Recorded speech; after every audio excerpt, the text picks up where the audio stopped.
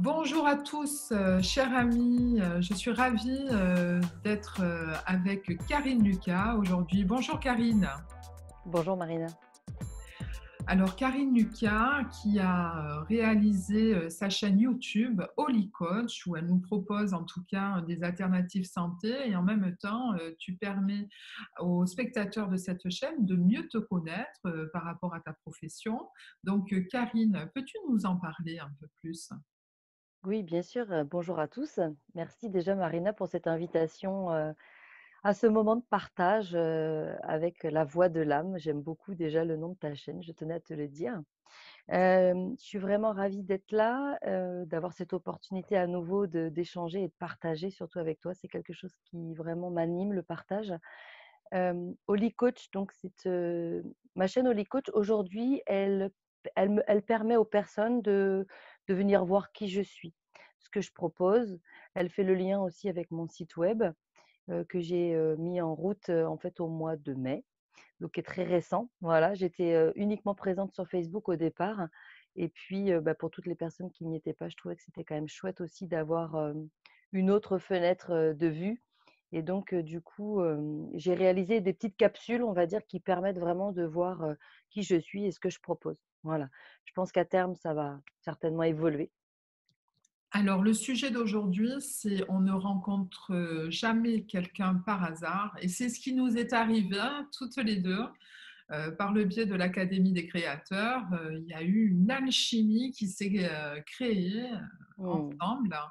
Alors, le sujet étant, pour les spectateurs, on ne rencontre jamais quelqu'un par hasard. Alors, c'est vrai que cette thématique, elle est arrivée tout naturellement, en fait, et j'ai trouvé, ça m'a mis, ça m'a mis en joie, en fait, un peu comme une enfant à qui on dit, tiens, j'ai une surprise, et voilà, je te la donne. Bah voilà, ma surprise c'était, «Oh, mais oui, et si on parlait de ça? Parce que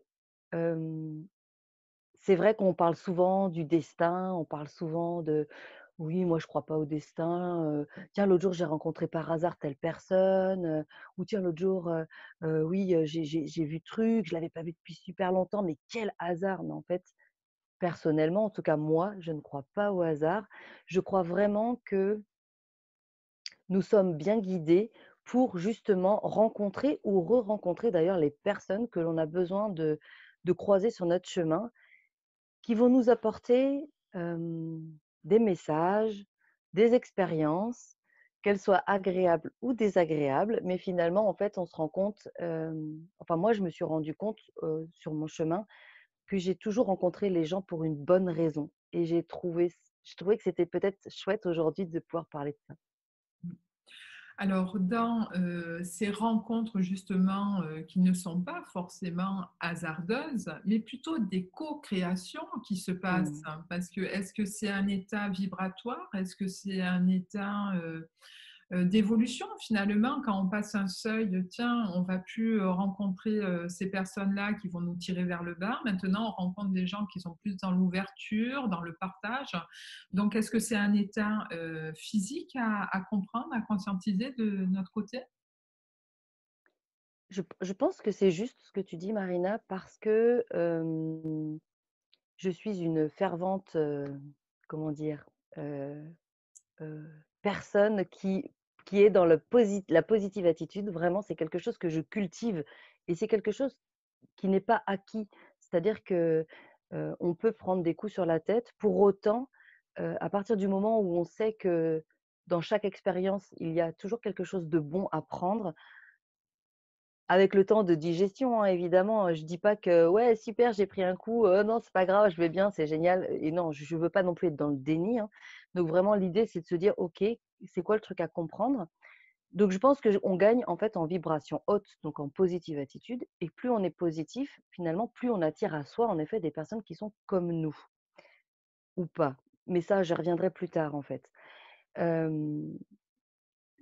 quand on parle de rencontre, enfin, quand on parle de en effet, comme de co-création, comme nous, par exemple, comme cette merveilleuse aventure aussi de l'académie, voilà, moi, je dis, ah bah ça m'est tombé dessus, je m'y attendais pas du tout. Mais finalement, je pense qu'au fond, il y a une part de moi qui, comment dire, qui attire en fait ça.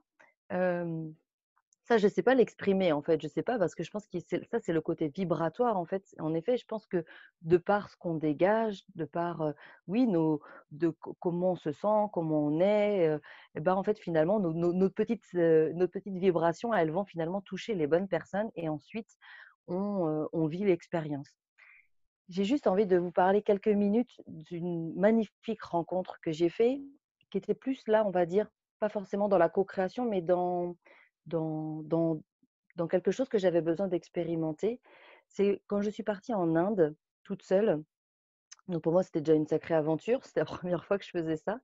J'avais un peu bordé les choses, hein, je suis pas partie non plus sac à dos, tente, heu, enfin voilà, j'avais fait quelque chose de sécurisant pour moi et j'avais une une énorme attente, on va dire, de rencontrer Amma, qui est une magnifique personne, voilà, avec qui j'avais très envie de faire un gros câlin et que je n'ai pas pu faire parce que c'était pas le bon jour, donc j'étais un peu frustrée et déçue. Et en fait, à côté de de cette magnifique personne, il y avait une personne qui travaillait à la clinique, heu, ayurvédique où j'ai fait une cure de 8 jours et en fait, c'était le chauffeur de taxi qui s'appelle, Krishna. Et en fait, Krishna, je pense que ce que j'attendais peut-être de la relation ou de la rencontre avec Amma et que je n'ai pas eu, finalement, lui, il me l'avait déjà apporté, mais je je je ne le voyais pas parce que j'étais focalisée aussi. C'est ça aussi, c'est ça qui est important, c'est de se dire quand on quand on focalise aussi notre attention ou nos envies ou nos désirs sur quelque chose, parfois on peut passer à côté de quelque chose d'encore plus fort, d'encore plus beau, d'encore plus merveilleux et vraiment avec cet homme, on a partagé des moments, heu, de partage, d'échange, de presque même, j'ai envie de dire, sans rien se dire, simplement d'être là, l'un à côté de l'autre et de regarder le paysage, la rivière qui coule et c'était juste waouh! Et quand on s'est quitté, il m'a dit: «Je n'oublierai jamais ces yeux bleus» et moi j'ai dit: «Ben, moi non plus, je ne t'oublierai jamais» et voilà et en fait, il m'a vraiment permis dans cette rencontre, ça m'a permis d'ouvrir mon cœur et et aujourd'hui, vous voyez, c'était il y a bientôt, 3 ans et en fait, c'est comme si c'était hier. Vous voyez, vous rencontrez des personnes qui vont pourtant être que quelques gouttes dans toute votre vie, mais qui laissent une trace, magnifique. Mmh, tout à fait. Penses-tu que ce sont des schémas répétitifs que nous vivons? Est-ce que c'est, transgénérationnel? C'est-à-dire que est-ce que ça faisait partie d'une ancienne vie ou, ou ces rencontres, peut-être qu'il était notre frère, notre, heu, notre mari ou notre sœur, notre mère et qu'aujourd'hui nous faisons des rencontres d'âmes? Hem, j'avoue que je me pose en fait, je me pose jamais trop la question quand je rencontre les personnes, mais je peux savoir tout de suite, allez, je dirais pas en quelques secondes, peut-être en quelques minutes, mais en fait, on se pose pas trop la question d'ailleurs quand on rencontre les personnes, mais on va ressentir. Moi, je suis une personne kinesthésique, je ressens beaucoup les choses et tout de suite, je sens si je suis bien, en fait. Si c'est bien, mais que ça ne doit pas durer, ça va très, très vite s'arrêter. Mais vraiment, j'ai rencontré des personnes, notamment dans le milieu professionnel, donc pas dans ma vie de thérapeute, mais dans mon autre vie d'avant, heu, où, heu, des gens que avec que je rencontrais, j'avais au bout de 15 jours, j'avais l'impression de les connaître depuis 10 ans. Donc oui, oui, moi je crois en effet que l'on re-rencontre des personnes que l'on a déjà rencontrées, soit pour terminer quelque chose, soit pour simplement, oui, expérimenter ou se retrouver, j'ai envie de dire peut-être simplement juste pour se faire du bien, parce que ça fait du bien quand on est en contact avec, des personnes, avec qui ça match tellement facilement. Et puis je pense qu'aussi en effet, dans nos vies, on re-rencontre des personnes qu'on avec qui on a eu un lien fort et avec qui on est là pour simplement terminer quelque chose ou guérir quelque chose. Mmh. En parlant des liens forts, nous pouvons aussi rencontrer, heu, des personnes qui, heu, par, heu, ce que nous dégageons, cette, cette lumière ou lorsque nous sommes en paix avec nous-mêmes et dans l'équilibre, il se peut que nous ayons des rencontres, hasardeuses Mmh mh. co-créées quelque part, heu, où ces gens-là vont venir, heu, beh, faire un peu les vampires d'énergie ou, heu, nous, inconsciemment ou consciemment, essayer d'éteindre ce ce ce cet élan de vie que nous avons. Je sais bien qu'on n'est pas dans le monde des bisounours et je crois que c'est important justement de se le rappeler et de rester vigilant. En effet, j'ai rencontré quelques expériences quand même plus ou moins douloureuse. Après, l'idée, c'est toujours pareil. Quand on le vit une fois, c'est très douloureux. Quand on le vit une deuxième fois, OK, on prend un coup sur la tête et on se dit: «Bon, finalement, là, il y a peut-être un truc qui est en train de se rejouer». Donc il y a peut-être un truc aussi à comprendre et à un moment de dire: «Bon, OK, comment je me positionne? Est-ce que je continue quelque part de donner aussi mon pouvoir à quelqu'un d'autre ou est-ce que je me fais confiance, j'écoute moi, ma petite voix intérieure et mais encore une fois, oui, on peut attirer ces, relations, ces, relations ou ces expériences hasardeuses. C'est encore, pour moi en tout cas, pas le fruit du hasard, puisque ça veut dire que quelque part, on n'a pas complètement compris la leçon et que du coup, à un moment, il faut aussi se positionner de façon hyper claire et de ne pas laisser de doute, de ne pas laisser la place au doute et de dire, bah non, désolé, mais en fait, ça, moi, je ne suis, pas comme ça et et peut-être que ça ne vous convient pas. Je dis toujours que c'est ma vérité, donc la mienne m'appartient et la vérité des autres, en fait, leur appartient aussi. Pour autant, c'est vrai que quand on a tendance à se remettre en question assez facilement, c'est-à-dire de se dire, bon, ok, mais là, peut-être qu'il y a peut-être un truc à regarder quand même. C'est ça, c'est de se dire, ok, je regarde, mais je ne vais pas non plus creuser, tout ressortir les anciens dossiers pour peut-être y passer trop de temps, alors que finalement, ça va, c'était ok. Oui, c'est vrai que la lumière bah, attire des personnes qui ont besoin de ça, besoin de se sentir finalement dans, une lumière qui va les accompagner, qui va les guider vers eux-mêmes en fait. Hein. Encore une fois, moi je guéris personne, je soigne personne. Je simplement je, fais un rôle vraiment de. J'aime dire ça là de. L'autre jour, on m'a parlé de contribution. On contribue aussi à aider les personnes à se reconnecter à qui elles sont.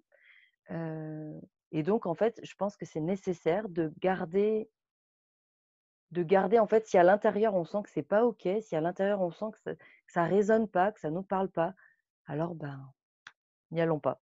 Mmh on peut faire un pas et puis on peut faire un pas en arrière aussi. Ça, c'est Nous avons aussi l'opportunité de rencontrer des messages dans la vie. ça fait partie des co-créations de, ce qui nous entoure. Euh, on peut avoir euh, ne serait-ce une musique qu'on entend d'un mmh. coup dans un magasin ou dans la voiture, euh, un livre que d'un coup on ne voyait pas spécialement chez soi et le titre va nous parler sur l'instant. par exemple, des messages par rapport à nos animaux ces animaux qui sont autour de nous. On peut avoir un message d'un oiseau, un chat qui vient nous mmh. voir. Euh, euh, il n'y a jamais de hasard à tout cela. Non, en fait, parce qu'en fait, on est tous connectés. que, en tout cas, là encore, ça c'est ma façon de voir les choses, mais que pour moi, quand, quand le corps s'éteint, l'âme, en fait, l'âme de la personne, elle reste, elle reste en tout cas de façon, on va dire, temporaire sur un, plan assez où on peut être en contact très facilement. et, et en fait, on reçoit en effet de magnifiques messages des personnes défuntes, que ce soit par le biais des animaux, c'est vrai, souvent on parle des rouges-gorges hein, qui sont de merveilleux messagers les chansons, mais vraiment, ça marche à fond. On est dans la voiture, hop, parce qu'en fait, on se fait souvent des ancrages auditifs. on entend, on entend une, une chanson qu'on avait entendue avec telle personne, et là, on se dit Ah ouais, tiens, je pense à lui. Ah ouais. Et hop, on reçoit un message de la personne, ou la personne va nous appeler. Ça, c'est pareil. On dit Ah tiens, faut, faut que j'appelle. Ah oui, ça fait longtemps que je ne l'ai pas appelé. En fait, on est tous connectés. On parle aussi des fois de télépathie, simplement de connexion. Rien que de penser à la personne, ça y est, la connexion, elle se fait. Pas besoin tout le temps du téléphone finalement. Donc, je crois qu'il faut vraiment être ouvert, en fait, ouvert, éveillé, sans être non plus peut-être dans alors c'est quoi le message enfin moi j'aimais beaucoup à une époque je regardais les plumes c'est vrai qu'on voit une plume blanche on se dit ah mon ange gardien est là ok super bon c'est vrai qu'on peut en croiser beaucoup des plumes mais en même temps ça se peut qu'il soit aussi tout le temps là mais je crois qu'il faut simplement se dire si ça, je sens que c'est pour moi, bah ok, le message, il est là, il est pour moi. Et mmh, j'avais un truc en tête, mais ça y est, il s'est évaporé, c'est pas grave, il va peut-être revenir tout à l'heure. Mais en tout cas, ouais, les chansons, les animaux, dans la nature également. Enfin voilà, je trouve que souvent on va s'arrêter peut-être, je sais pas moi, avec un arbre ou face à un arbre et on va se dire waouh, incroyable. Mais en fait, je pense qu'il y a des choses qui sont en train de se transmettre. On n'en a pas forcément conscience. les fleurs, enfin, en fait, tout est source finalement à nous transmettre des messages, à nous transmettre de, de belles choses, quoi. On revient à la simplicité parce que lorsque tu nous, dis par rapport à l'oiseau, la plume, la fleur, l'arbre, etc. En fait, c'est juste qu'on prend conscience que sur cette terre Gaïa, euh, on est sur un espace de vie magnifique. Ah, Et lorsque notre mental est leurré par l'illusion du matériel, le pouvoir, la maîtrise, le contrôle, euh, l'illusion, euh, nous amène à euh, ne plus voir la simplicité. Et cette simplicité, simplement, nous conduit à des messages où, quand nous sommes réunis dans le tout et dans notre centre, là, les portes s'ouvrent pour nous. Mmh. Et euh, le hasard n'existe pas, Karine. Je devais euh, te rencontrer. Oli Coach, qui, euh, qui est récemment ben, né dans cette matrice qui, depuis mai de cette année va prendre une ampleur magnifique.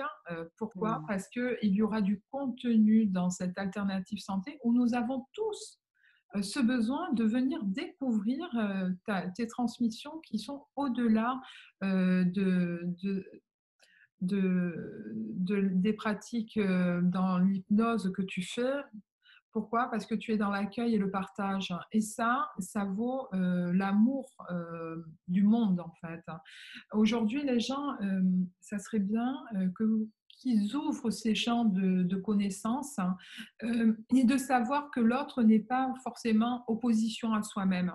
On est euh, et d'être dans l'accueil et surtout le ressenti du cœur. Voilà euh, ce que j'en dirais pour aujourd'hui euh, dans notre échange, Karine. Alors, vous pouvez retrouver Karine sur sa chaîne Holy Coach, Karine Lucas, ainsi que son site hein, où tu révèles, tu révèles la magie, ta magie.